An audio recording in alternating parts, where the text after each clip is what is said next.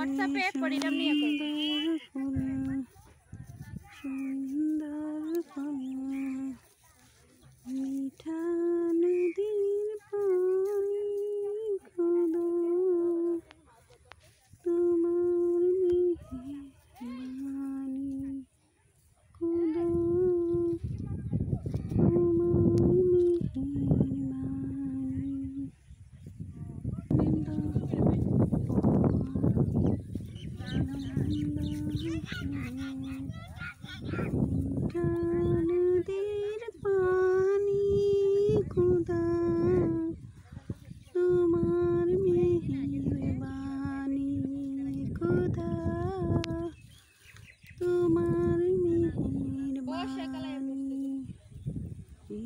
সুন্দর ফুল সুন্দর ফল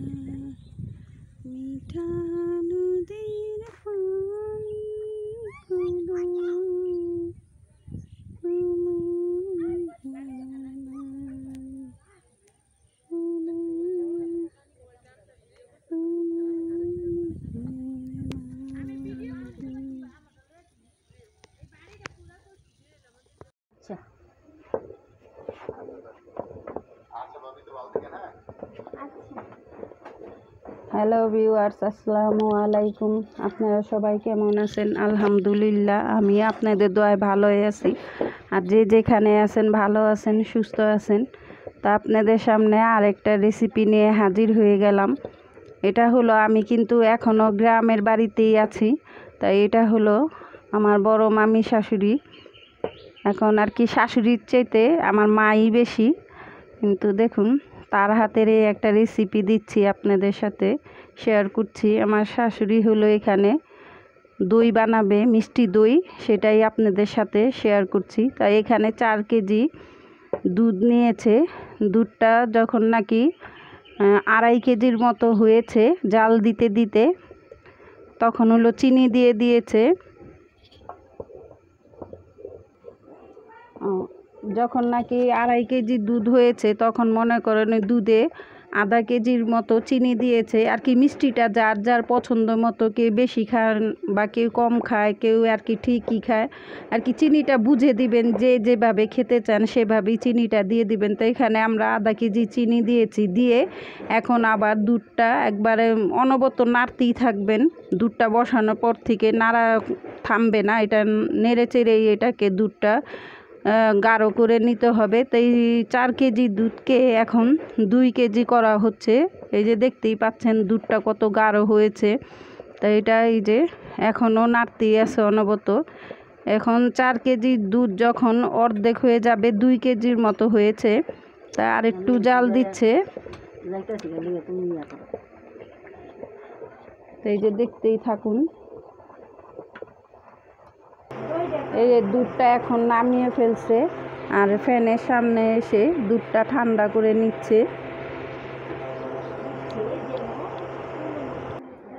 এখন হলো এটার মধ্যে হলো দইয়ের যে বীজ, এই যে, এই দইটা দিয়ে দিচ্ছে। আর একটা যে দই, সেই দইটা বাজার থেকে কিনে আনার দইটা, ওই দইয়ের বীজটাই এখন এখানে দিয়ে দিল। দুধটা এমনভাবে ঠান্ডা করতে হবে যাতে করে আপনার আঙ্গুলটা রেখে সাথে সাথে আবার উঠিয়ে ফেলতে পারেন। একেবারে গরম ফুটন্ত দুধের মধ্যেও দেওয়া যাবে না, আবার একবারে গরম দুধে দেওয়া যাবে না, আবার একবারে ঠান্ডা হয়ে হয়ে গেলে ওই দুধেও দেওয়া যাবে না। যাতে করে দুধটা একটু আঙ্গুল দিয়েই উঠে রাখা যায়, সেই পরিমাণ গরমে দইয়ের বীজটা দিতে হয়। এখন আমরা দইয়ের বীজে দিয়ে দিয়েছি, এখন ভালো করে নাড়াচাড়া করে নিচ্ছি। এই যে, দেখতেই পেলেন। এখন অনবত নাড়ছে দইয়ের বীজটা দুধের সাথে। একবার ভালো মতন ফেটে নিচ্ছে, যাতে করে কোনো দানাদার না থাকে। মগে ঢেলে নিচ্ছে। মগে ঢেলে নিচ্ছে। আর এখানে হলো এই যে কাপগুলো রেখেছে, দেখতেই পাচ্ছেন। ওয়ান টাইমের যে কাপগুলো, সেই কাপের মধ্যেই দুধগুলো ঢেলে দিচ্ছে জমানোর জন্য। এটা হলো সনাতক পদ্ধতিতে। আর কি সাধারণত মিষ্টির দোকান বা অন্য অন্য জায়গায় যেভাবে দইগুলো পাতা হয় সেইভাবেই এখানেও বাসাতেও সেই সনাতকভাবেই দুধটা ই করে নিচ্ছে। আর কি দইটা পেতে নিচ্ছে। যে দেখতেই পাচ্ছেন। আর এখানে কিন্তু এই যে আমি দুধটা কিন্তু নাড়তেই আছি। একবারে কিন্তু ঠান্ডা না দুধটা।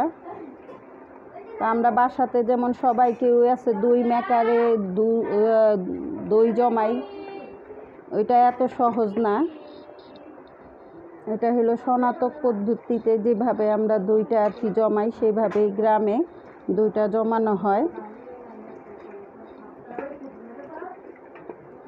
তাই এভাবে করে সবগুলো গ্লাসগুলো ভরে দিবে। এই যে এখানে দেখেন, চার কেজি দুধ জাল দিয়ে দুই কেজি করেছে। তাই দুই কেজি দুধেরই হয়েছে সাতাইশটা কাপ।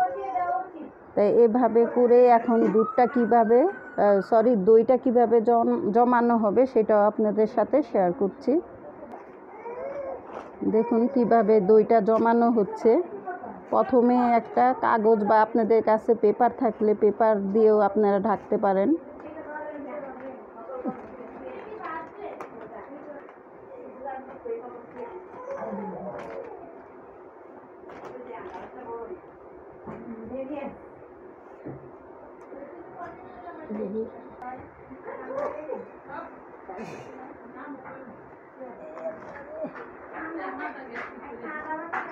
এখন একটা কাঁথা দিয়ে দিচ্ছে এটার উপরে।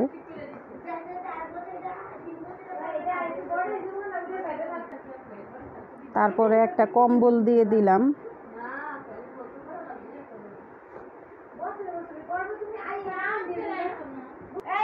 আচ্ছা এখন হলো ওই যে দইটা ই করে দিলাম তা এখন দিন, আর কি দুপুর সাড়ে বারোটা বাজে।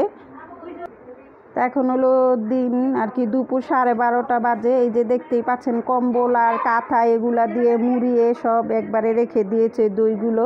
তো এটা হলো, এই দইটা জমতে ছয় ঘণ্টা সময় লাগবে। তাহলে আমরা ওয়েট করব সাড়ে ছয়টা পর্যন্ত। যখন দইটা সম্পূর্ণ হয়ে যাবে, তখন আপনাদের সাথে আবার দইটা দেখানোর জন্য ফিরে আসছি। তা আমার সাথেই থাকবেন, আশা রাখছি। হ্যাঁ ভিউয়ার্স এই যে ছয় ঘণ্টা, সাড়ে ছয় ঘণ্টা পরে আবার ফিরে আসলাম। এই যে দেখতেই পাচ্ছেন, এই যে দই, দইগুলো এই যে কি সুন্দর জমে গেছে আল্লাহ রহমতে। তাই এই যে আপনাদের সাথে আবার দইগুলো সব শেয়ার করছি। এখন নর্মাল ফ্রিজে রেখে দিব, তারপরে দইটা সেট হয়ে যাবে। তাই যে দেখুন একবারে কাছ থেকে দেখাচ্ছি দইগুলোর উপরে কি সুন্দর সর পড়ে আছে। তাই এইভাবে আপনারা একবার ট্রাই করে দেখবেন সনাতক পদ্ধতিতে। আর যাই হোক, যদি আমার ভিডিওটা আপনাদের কাছে ভালো লাগে, তাহলে লাইক দিবেন শেয়ার করবেন, আর সাবস্ক্রাইব করবেন। আর যারা সাবস্ক্রাইব করেছেন, তাদেরকে অসংখ্য ধন্যবাদ। তো আজকের মতো বিদায় নিচ্ছি। আগামীতে আবার নতুন কোনো ভিডিও নিয়ে হাজির হব। আল্লাহ হাফেজ।